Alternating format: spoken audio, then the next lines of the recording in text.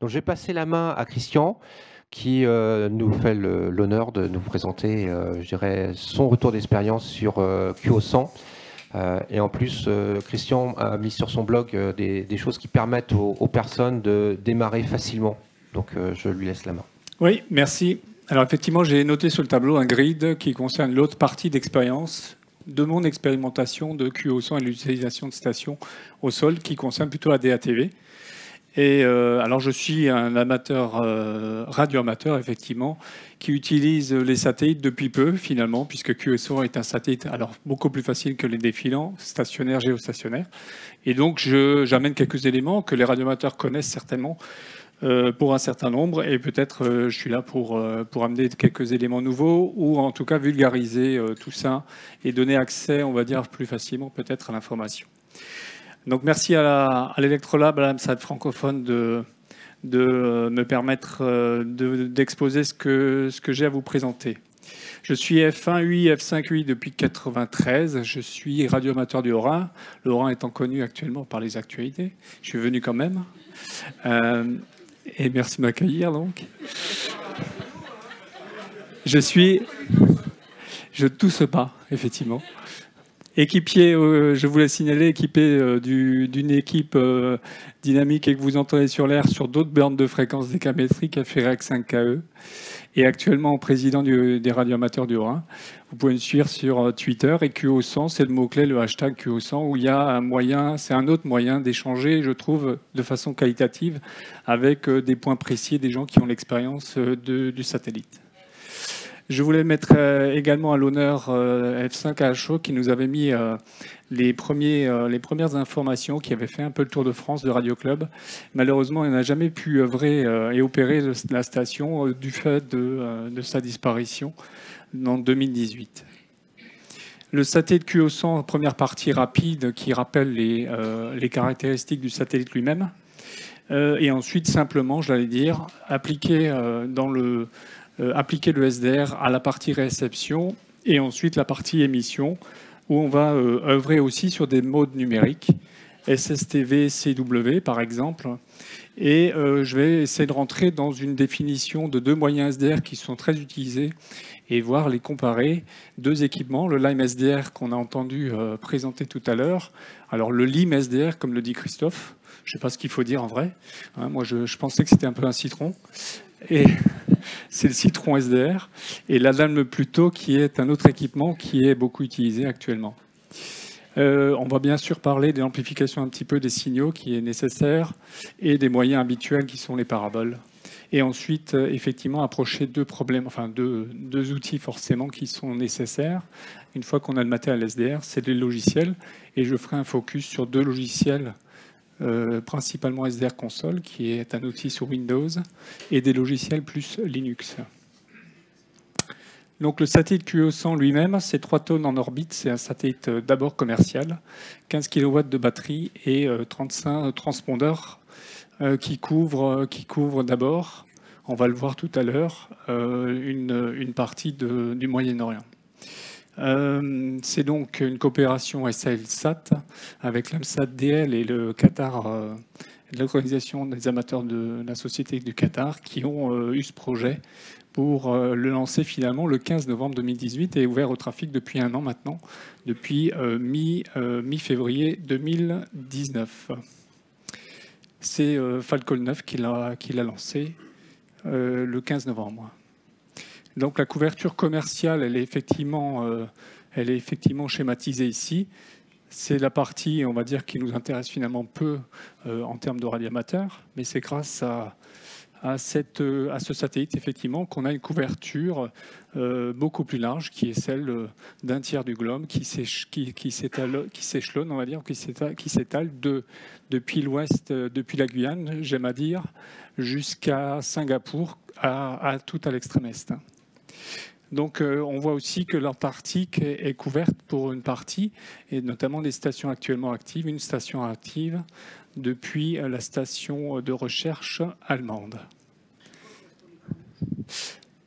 Ah, les points rouges, je ne sais pas dire. C'est une capture que j'ai prise sur SatFlare et qui, euh, qui présente, je suppose, des, des stations sol, mais qui n'ont rien à voir ici sur la carte. L'installation, la, la, fréquence de, descente est en 10 gigas. Une puissance installée crête de 100 watts qui est, qui est proposée par grâce à un cornet qui a une ouverture de, de, 17 degrés et qui amène euh, globalement, donc, euh, qui, nécessite de traiter le signal en, polarisation verticale. Vous avez une réception en polarisation verticale à, mettre en œuvre. Pour la montée, le, satellite est accessible grâce à une, une, antenne Cornet également qui est installée sur le satellite et qui est, se fait sur 2 Go 4. Les stations sol, il y en a deux. La station principale est en Allemagne, à Borum, et la station redondante est à Doha, au Qatar. Leila est un premier équipement euh, qui, on va dire, est SDR. Leila, c'est le système euh, qui a été baptisé pour Leistung Limit Anzeige, générateur de balises limites. C'est lui qui est générateur des deux balises, ou des trois balises maintenant, qui sont euh, au sol et qui permettent de repérer euh, le satellite sur la bande de fréquence descendante. On va le voir tout à l'heure sur un spectre, sur le spectre de, réception. Et c'est aussi lui qui est capable, depuis le sol, rien n'est embarqué, de générer des modulations de surintensité dès lors qu'une station est trop forte, une tonalité double fréquence une tonalité de, rappel, un avertisseur, se positionne sur la fréquence, sur le signal considéré trop fort et vient en surimpression sur le satellite. Donc le, générateur est au sol et c'est euh, bah, automatisé grâce à cet équipement qu'on voit ici, qui, euh, présente en fait euh, un RED Pitaya, une carte rouge, qui est un équipement émetteur, émetteur certainement récepteur, SDR. Euh, voilà pour le fonctionnement de euh, cette partie. La, portion de bande de fréquence utilisée depuis le 14 février, donc tout récemment, un an après le lancement, la bande a été multipliée par deux. On, a donc on est passé à 500 kHz de largeur. On monte entre 2400 et 2400,5 euh, en polarisation circulaire droite et on descend sur donc 10, 10 gigas 489 à 490. Donc sur ce satellite, il n'y a euh, autorisation que de signaux euh, étroits, on va dire, de 2,7 kHz maximum. Pas de modulation FM, pas de mode numérique. Pas de full duplex car vous devez pouvoir et vous écouter, surtout écouter le fait que vous êtes en surintensité, surpuissance. Donc vous pourrez être à l'écoute éventuellement du générateur Layla et ne pas transmettre plus fort que la balise ou les balises qui sont celles qui sont en limite haute et basse, qui sont les points de référence. Pas de transmission donc au-delà évidemment des deux balises limites. On va garder euh, effectivement aussi de, on va s'éloigner, on ne va pas être trop proche de ces balises qui ont, cette, euh, qui ont ce rôle de, de garde-fou. Ensuite, effectivement, les largeurs, euh, dans certains cas, on les voit considérablement élargies certaines, euh, certaines stations euh, faisant effectivement euh, des fois du 3, du 5, du 5 kHz. et on va dire que ce sont plutôt des signaux anormaux. Le schéma global, évidemment, on a un schéma qui, euh, là je synthétise, on va dire aussi un synoptique, où on voit deux chaînes, une première qui est la plus large, qui est plutôt analogique, où on va traiter avec euh, des postes standards du commerce sur des euh, fréquences intermédiaires de mètres ou 70, voire, voire 10 mètres, donc 144, 432 ou 28 mégas. Et on va euh, utiliser des down ou des up converteurs, multiplicateurs de fréquences, système mélangeur classique, j'allais dire, dans le domaine analogique, pour monter et descendre les signaux du satellite. Ce que je vais vous présenter plutôt dans cette présentation, c'est le, support qu'on va utiliser en SDR et qui est la chaîne que j'ai schématisée au milieu et qui, lui, bah, est une configuration beaucoup plus numérique et qui, euh, traite euh, de signaux euh, numérique, effectivement, avec un récepteur émetteur SDR. Pardon. Voilà la, dynamique des signaux sur l'ensemble du spectre à 500 kg. On voit ici les deux limites haute et basse, et au milieu une balise supplémentaire qui est celle qui était tout, en haut de, de, la bande et qui est passée au centre sur 750, et qui est une balise BPSK. Euh, c'est cette balise qu'on va voir tout à l'heure qui va nous servir aussi à euh, stabiliser la réception euh, si on en a besoin. Donc au-delà de ces bandes rouges, on n'a pas le droit d'émettre.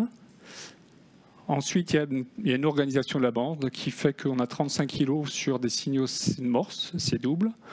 On a ensuite 40 euh, kg pour des bandes euh, pour des numériques étroits qui sont inférieurs à 500 Hz.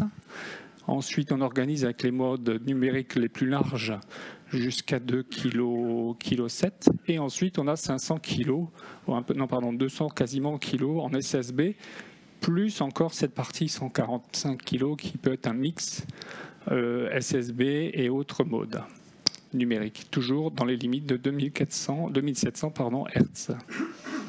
Globalement, on a donc 490 kg de largeur de bande, ce qui est, euh, très très euh, large globalement pour l'usage qu'on en fait aujourd'hui. La partie réception SDR, je vais la proposer sur déjà en disant qu'effectivement vous, vous êtes capable d'écouter le satellite à travers Internet avec un certain nombre de récepteurs web SDR. Donc euh, vous allez retrouver les, signaux, les signaux classiques. J'en ai listé un certain nombre, il y en a certainement d'autres qui existent sans avoir d'équipement, vous pouvez déjà écouter le trafic et éventuellement décoder d'ailleurs les, signaux quand il y a des signaux euh, numériques.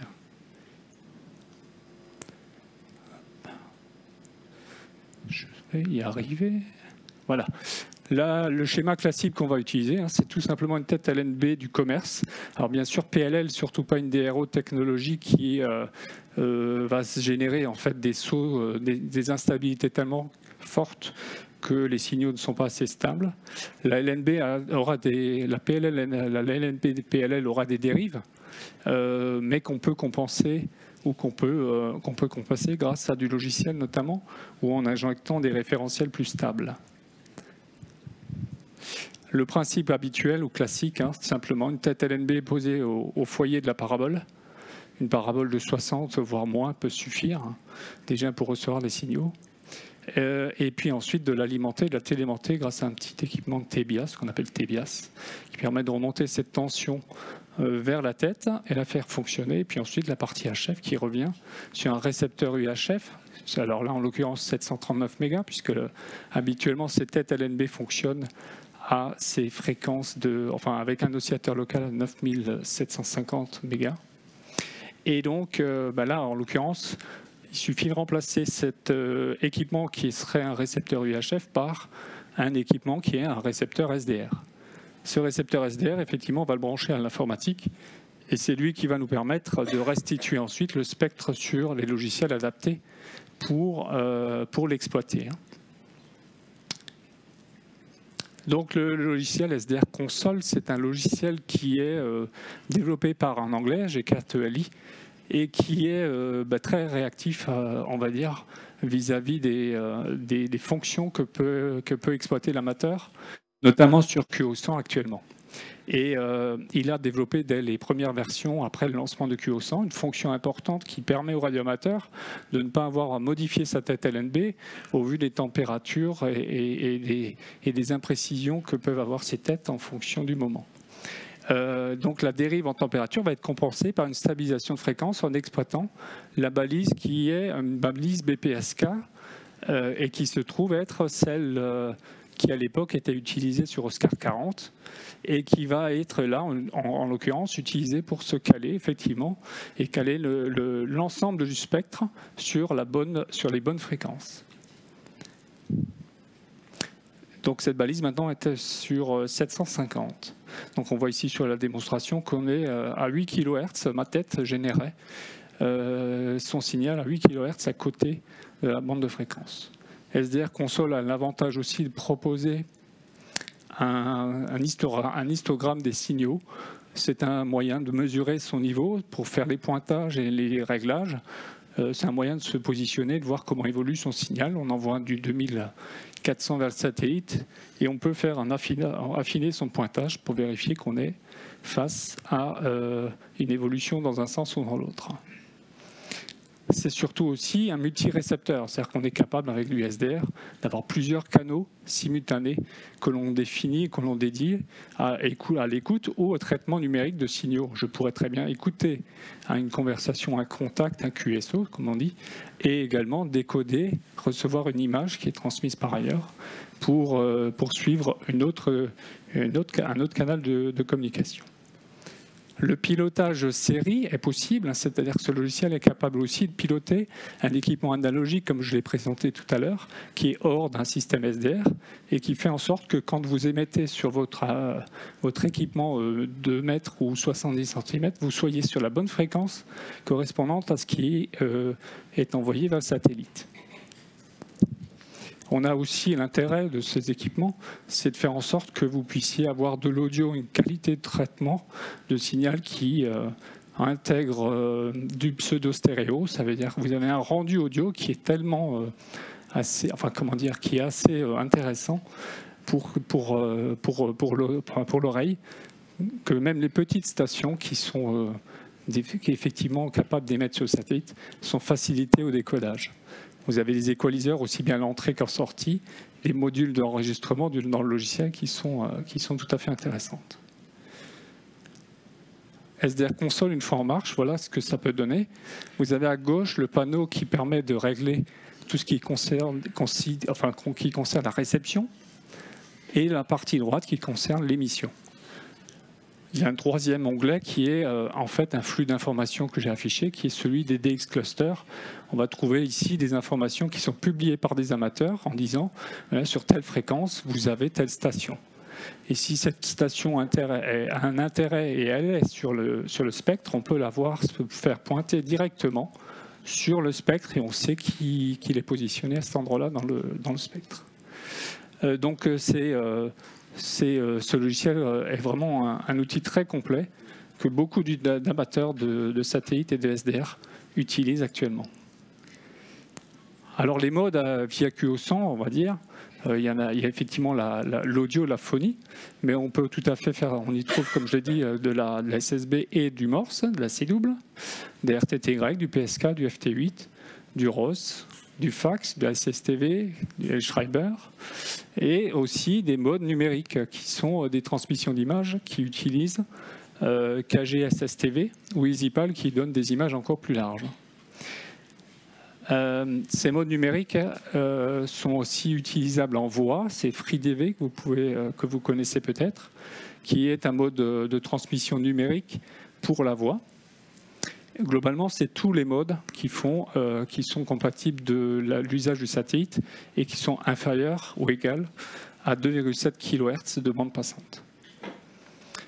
Après, effectivement, il faut euh, tout de même avoir une stabilité en fréquence à la montée qui permette de faire en sorte que vos signaux soient, soient, stables, sinon, effectivement, vous allez euh, générer des problématiques de réception. Alors pour pouvoir utiliser SDR Console avec des logiciels tiers qui traitent de ces modes numériques, eh il suffit, j'allais dire, pour décoder, puisqu'on est toujours dans le chapitre réception, de euh, brancher euh, virtuellement, on va dire, un câble entre une entrée son et une sortie son. En l'occurrence, euh, ici à gauche, j'ai un logiciel qui est setup, euh, c'est le setup, la partie configuration de MMSSTV, qui est un logiciel de décodage, SSTV, on va parler du décodage, et j'ai défini que ma carte était un, câble virtuel que j'ai par ailleurs mis euh, en face dans le canal d'entrée et sur le récepteur, le panneau SDR, le panneau récepteur de SDR console, et donc le canal virtuel, c'est un carte son virtuel va permettre simplement d'injecter dans le logiciel SSTV la voie d'entrée de réception, enfin la voie de sortie de réception de SDR console. Deuxième partie, KG SSTV, même principe. On rentre dans la configuration du, panneau de configuration de, de KG SSTV pour, faire la même, chose. Alors, euh, effectivement, les logiciels, il faut mettre en œuvre ces logiciels euh, de câbles virtuels c'est euh, par exemple VB Audio qui en propose plusieurs, plus ou moins riches d'ailleurs, puisqu'il y en a certains qui permettent d'aller faire encore du réglage de niveau, euh, voire de, l'audio euh, assez poussé avec des fonctions DSP, écho et. Là, il s'agit au contraire de faire plus simple et d'avoir quelque chose sans traitement entre les canaux d'entrée et de sortie pour que ça marche bien. Donc je vous en ai mis deux, le premier étant très complet, VB câble du site VB Audio. L'émission SDR maintenant. L'émission SDR, c'est le même principe. Simplement, effectivement, votre émetteur euh, SDR qui est peut-être aussi récepteur souvent. tout à l'heure, on le verra. Va utiliser le même logiciel et on va lui indiquer un shift. Souvent, c'est plus facile. On va régler dans le logiciel SDR console le fait que euh, dès lors qu'on a une réception sur 10 Go 489, j'ai une fréquence correspondante de, 9000, de 2400 et donc l'écart entre les deux fréquences, on l'intègre dans le logiciel et euh, ça permet de se faciliter la vie entre l'émission et la réception. La chaîne ensuite, c'est euh, effectivement l'intégration d'un filtre si possible, puisqu'effectivement, les équipements SDR, on le verra un peu avec quelques captures de spectre, euh, bah, sont des générateurs plutôt euh, polluants euh, pour les fréquences non désirées et préférable de positionner un filtre, surtout puisque ensuite vous allez amplifier votre signal et qu'à ce moment-là, vous allez générer des harmoniques des signaux non souhaités. Alors la chaîne habituelle que moi j'utilise en tout cas, c'est un petit ADCN 040 à 0417 qui m'amène déjà 20 dB. On verra après les niveaux et les courbes. Et un deuxième ampli qui est euh, de nature, euh, de nature commerciale, un petit AB03 et qui est, euh, qui est très économe et qui me permet déjà avec 3 watts et demi d'avoir un signal à la hauteur de la balise, une parabole de, de 1m20 effectivement, par exemple, et une source en hélice qui me permet, euh, qui me permet de monter euh, correctement et confortablement sur le satellite. Sortie d'un encodeur vers... Euh, là, je parlais maintenant, on a vu la réception avec SSTV, on fait la même chose dans l'autre sens. On a le panneau transmit à droite, on y a mis un canal câble audio branché sur le logiciel. sur le logiciel. Euh, le logiciel de, télé, de, transmission. Donc là, on a une image qui part euh, en SSTV où on voit euh, globalement le signal, le spectre qui est celui du récepteur. Donc on envoie cette émission depuis le panneau de droite et là on a la descente 10 gigas qui se fait sur la, la gauche de l'écran et qui correspond au signal qu'on transmet. À l'autre bout, évidemment, on fait la même chose. D'autres stations à l'écoute peuvent décoder l'image et la voir affichée sur, sur leur écran. Cette image, d'ailleurs, j'avais été surpris. Évidemment, on a d'autres moyens modernes d'avoir des, contacts, des QSL, des confirmations qui arrivent par mail du Brésil, par exemple. Ensuite, la C-double en SDR, effectivement, c'est un autre moyen d'associer, de, on va dire, la modernité d'un support satellite et du SDR avec un outil qui est quand même, il faut le dire, un outil qu'apprécient beaucoup les radioamateurs, qui est le Morse. Et euh, on peut utiliser à l'image de SSTV un logiciel que F8EHO a développé et qui permet ben, d'envoyer des séquences euh, constituées ou alors effectivement d'envoyer des séquences manipulées. ici, il y a une interface série qui existe. Il suffit de brancher un, un cueilleur sur cette interface pour pouvoir manipuler le, morse et l'envoyer vers, euh, le satellite à travers SDR console et le câble audio qu'on a, mis en œuvre. Maintenant, je voudrais parler effectivement des deux euh, principaux outils que j'ai déjà expérimentés, qui sont SDR, euh, Lime SDR, pardon. Alors, j'ai utilisé le Lime SDR Mini, qui lui a une bande d'exploitation possible entre 10 MHz et 3 Go 5. Et ensuite la lame Pluto qui, lui, dans sa version, on va dire, euh, euh, large, fait du 70 MHz ou 6 Go. Évidemment, je n'ai pas eu pas fait de benchmark complet. Je me suis intéressé uniquement à l'usage sur 2400. Alors, on va regarder effectivement un peu les caractéristiques sont des équipements qui, euh, globalement, fonctionnent sur, euh, des, sur euh, FGPA différents, qui sont sur 12 bits tous les deux. Il y en a un qui fonctionne en USB 3, mais est capable de fonctionner tout à fait correctement en USB 2, c'est le Lime également. Et là, Dan plutôt en USB 2 également. Euh, on voit deux différences qu'on va tout de suite mettre en évidence.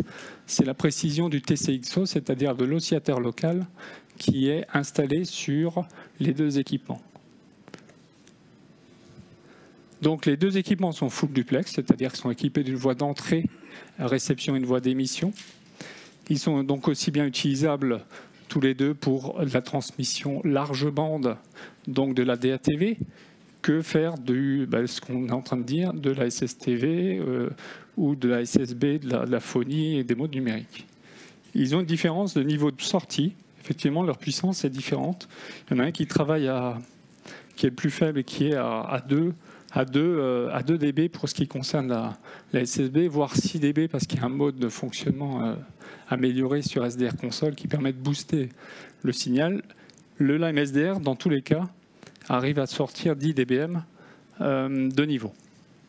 Alors effectivement, la différence, la grande différence, c'est que le Lime SDR est plutôt stable, vu la précision du TCXO, même s'il ne faut pas aller le, le, comment dire, lui souffler dessus et, le, et lui générer des, altérations euh, en termes de, stabilité en fréquence, enfin d'air, de, température. Mais effectivement, il revient rapidement en, place, alors que l'autre équipement, de fait de sa précision, de quartz TCXO 25 ppm. il faut effectivement, on ne peut pas l'utiliser de fait sans avoir, ah oui, 5 minutes, à, pouvoir euh, le faire fonctionner plus précisément. Donc il faut euh, remplacer cet équipement. Et l'avantage de la lame Pluto, c'est qu'il fonctionne sur de l'Ethernet. on peut le faire fonctionner donc en réseau local. Les puissances, je vous en ai parlé un peu. On voit effectivement euh, que le Lime SDR a une courbe plus pentue et arrive jusqu'à 10 dBm de sortie nominale au maximum de ses capacités. Voilà un exemple d'une intégration euh, dans un boîtier où l'ensemble est euh, full duplex, alimenté avec prise USB d'un côté, alimentation, et de l'autre côté, deux antennes, une réception et une émission. L'intérieur, c'est composé simplement, le Lime SDR, un TBIAS qui est en haut vers, le, milieu, qui permet d'alimenter la voie de réception de la tête LNB. Et de l'autre côté, une petite platine de préamplification CN417, suivie de cet euh, ampli euh, boîtier noir là, qui permet de sortir celui-là 2 watts, 2 watts 5 maximum. Le tout étant alimenté effectivement en 12 volts, euh, il y a une conversion avec un petit convertisseur 12 volts, 5 volts pour alimenter le, petit CN0 417. Alors la dame plutôt, comme je l'ai dit, il y a des avantages. C'est son prix, il y a l'inconvénient qu'il faudra de toute façon passer par deux petites modifs. Quand je dis petite, c'est surtout parce que c'est très fin et qu'il faut avoir euh, de bons yeux, un bon fer. Euh, relier deux masses pour qu'on euh, ne subisse pas des aléas de plantage. Curieusement, effectivement, entre les masses USB et les masses euh, de circuits numériques, il semblerait que ça soit nécessaire pour ne pas avoir de plantage de communication. Vous pourrez retrouver de l'information sur une publication dans la revue Radio Ref de septembre 2019, écrit, un article euh, écrit par Lucien F1TE. Et ensuite, il y a des modifications qui s'imposent sur le TCXO. Soit on intègre un TCXO de précision. Au départ, on a un racon euh, de 3 volts 3 et ben, on a deux possibilités qui sont proposées. Là, j'ai mis deux idées. Euh, c'est celle de F1TE qui a également euh, publié sur son blog euh, la façon d'opérer le remplacement par un 40 mégas qui tourne à plus ou moins 0,5 ppm. Et une autre idée qui est celle de désactiver effectivement, sans démonter le TCXO qui est sur la, carte, désactiver le TCXO et, le remplacer par une source externe. Voilà un exemple d'opération qu'il faut, amener euh, et ensuite euh, l'illustration de, de ce, qui, euh, ce, qui est, fait avec un GPS DO à l'extérieur. Il y a d'autres modifications qui sont possibles. On peut passer la dame plutôt à, l'élargissement de sa bande. En fait, globalement, logiciellement, on est capable de lui faire croire qu'il est équipé d'un 93-64 plutôt qu'un 93-63. On peut aussi lui mettre en œuvre, et c'est plutôt utile pour la DATV, lui demander de passer au maximum des CPU disponibles pour que l'usage soit, euh, complet ou, donne toutes les capacités de, fonctionnement hein, du, des capacités du, hardware. Voilà un, un autre exemple de mise en service où il y a un adaptateur Ethernet alimenté, téléalimenté par un Y qu'on aurait pu brancher d'ailleurs euh, sur la deuxième prise Adam Pluto, la source 5 volts, et derrière un amplificateur MMIC 30 dBm. Il y a la possibilité d'ajouter du pilotage externe. Euh, Adam Pluto permet, avec un port GPIO et euh, des petites platines, de faire en sorte que euh, vous puissiez piloter une source telle que des, amplis, des amplis HF. Également sur Lime SDR, avec SDR Console, vous avez une matrice de paramétrage qui permet de dire par bande ce que vous avez comme sortie activée euh, en, réception et en émission. Je vais un peu vite puisque le temps. Partie parabole, alors il y a deux solutions, effectivement. On peut euh, avoir deux paraboles et on se simplifie la, vie. C'est-à-dire qu'on a une parabole de réception, une parabole d'émission, ou alors on cherche à mettre en œuvre une antenne double qui permet effectivement, euh, comme une potille, qui permet effectivement, grâce à un guidon, de récupérer le signal à la réception et d'émettre un signal double feed euh, enfin un signal RHCP, RHCP enfin au à gauche plutôt, pour voilà. Alors, j'ai pas le temps de finir proprement. Alors, je vais à la conclusion.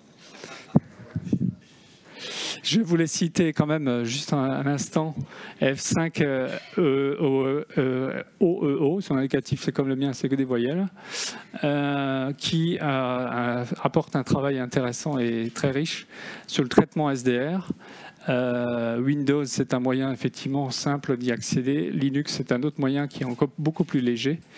Il euh, faut aimer les paramètres. On voit une ligne de commande, par exemple ici, qui fait un transpondeur. Je prends l'ensemble de la bande, euh, la bande, la bande de réception 400 et je la réinjecte sur du 437 mégas. Donc c'est assez fabuleux pour mettre à disposition sur certaines bandes, euh, avec des signaux évidemment d'origine, sans altération, l'ensemble d'un spectre très large. Euh, comme je disais, euh, je fais partie de, l'équipe FR5AE. On a fait notre premier QSO euh, sur QO 100 depuis 2 degrés, enfin depuis, depuis la Guyane avec une élévation de 2 degrés. On a, été surpris d'être sur la première page d'AMSAT DL. Et donc j'espère vous réentendre éventuellement ceux qui sont en cours d'équipement sur le satellite. Voilà, vous pouvez effectivement trouver quelques infos sur mon blog, où il y a des articles très détaillés, tutorés, où on vous dit ce qu'il faut faire étape par étape pour pouvoir transmettre, recevoir. Euh, et je suis en train d'essayer d'avancer sur un article pour la DATV. Voilà, vous pouvez déjà télécharger la conférence que je viens de vous présenter sur ce lien-là en scannant le petit code barre. Merci Christian je, suis désolé, mais les règles, c'est celles, ce sont les règles. Par contre, euh, s'il y a une question. Oui. Je dois souligner aussi, qu'on peut utiliser SDR Angel pour le calage sur la balise. Ça, c'est intéressant. C'est français, F4XEB. Et puis également aussi en transverteur devant, on peut aussi utiliser du F6 BVA tout en ne se privant pas de la solution SDR en entrée-sortie. Voilà, j'ai fait le choix de mettre du SDR en avant avec un logiciel que beaucoup utilisent. Il y a d'autres solutions et c'est euh, euh, j'ai évoqué ces présentations aussi sur la conférence de Strasbourg que j'ai faite et qui se voulait être plus complète parce que j'avais une heure. Oui, non mais je, sais, mais je te rappelle que tu as euh, l'espace grid pour largement t'exprimer. tout à l'heure, je suis disponible pour éventuellement revenir sur des points. Ah, il y a une deuxième question. C'est pas une question, c'est plutôt une, euh, proposition. Lorsqu'on a des SDR, il est très difficile de, de coller le SDR au cul de l'antenne. Et quand on veut le faire, on peut très bien utiliser une bretelle en RJ45 qui coûte 8 euros sur Internet et qui fonctionne admirablement. Oui, alors effectivement, la problématique... Par euh, contre, le bruit remonte sur les fréquences basses. Alors là, euh, moi, ce que la dame plutôt est capable effectivement d'être pilotée à distance, alors que dans le cas du Lime SDR, on pourrait le faire uniquement avec des câbles actifs. Ce qu'on a fait, on a mis en œuvre d'ailleurs en Guyane avec un câble de 20 mètres pour rester au frais, puisque euh, disons que la Guyane, et sa, température locale n'est pas toujours euh, des plus agréables pour le trafic. On en, centaine de milliampères. Oui, centaine de milliampères de consommation sur un port USB. Euh, sur la, bretelle. Sur la bretelle Ethernet. Ok. Ok.